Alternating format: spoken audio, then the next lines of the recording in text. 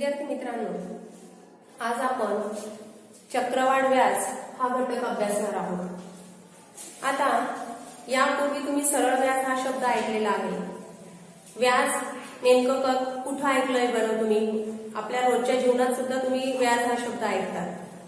उदाहरणार्थ जर तुम्ही एखादी घर घ्यायचं असेल वाहन घ्यायचं असेल तर तुम्हाला बऱ्याच ठिकाणी बँक लोन उपलब्ध करून देते किंवा कर्ज उपलब्ध करून देते.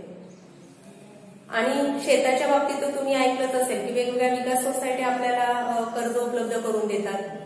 आणि तिच्यामध्ये आपल्याला व्याज आकारणी कमी दरामध्ये देतात. हे सुद्धा तुम्ही ऐकलं असेल.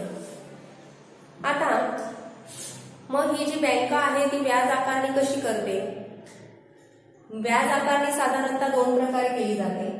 एक आहे सरळ व्याज व दुसरा आहे चक्रवाढ व्याज आता सरळ व्याज यापूर्वी तुम्ही मागच्या वर्षी अभ्यासलेला आहे. तरी आपण सरळ व्याजाचं एक सूत्र बघू बघा. सरळ व्याज बरोबर आय बरोबर पी गुणिला एन गुणिला आर हिच्यात पी म्हणजे मुदत एन म्हणजे मुदत वर्ष आर म्हणजे दस आदर्शे दर आणि आय म्हणजे व्याज. हे सूत्र या सूत्रावरचे उदाहरणं तुम्ही मागच्या वर्षी पण अभ्यासलेले आहेत. आता या वर्षी तुम्हाला काय अभ्यासायचं आहे तर आपल्याला चक्रवाढ व्याज बँक ही चक्रवाढ व्याजाने व्याज आकारणी करते. आणि त्यामुळे विशिष्ट मुदत संपल्यावर आता एक वर दोन वर्ष एक वर्षासाठी जर बँकेने आपल्याला कर्ज दिलेलं आहे आणि ते कर्ज जर आपण परत नाही करू शकलो तर दुसऱ्या वर्षी बँक आपण घेतलेलं जे कर्ज आहे त्याच्या त्या वर्षाचं व्याज मिळवते आणि दुसऱ्या वर्षासाठी ती मुद्दल पकडते. म्हणजे व्याज आणि मुद्दल आधीच्या वर्षाची व्याज मुद्दल आणि व्याज यांना एकत्र करून पुढच्या वर्षासाठी तेच मुद्दल पकडलं जातं. तर या पद्धतीने आपली व्याज आकारणी चक्रवाढ व्याजामध्ये करतात मग या चक्रवाढ व्याजाच्या सूत्राने आपण चक्रवाढ व्याज काढू शकतो.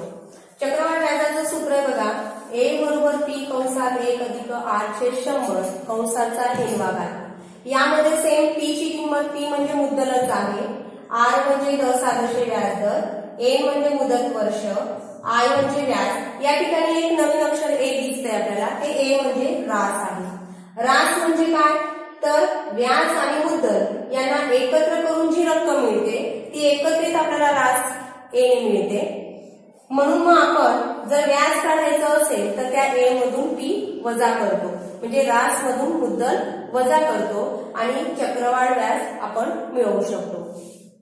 तर आता आपल्याला सरळ व्याज आणि चक्रवाढ व्याज यांच्यातील फरकाचा एक उदाहरण आपण बघू.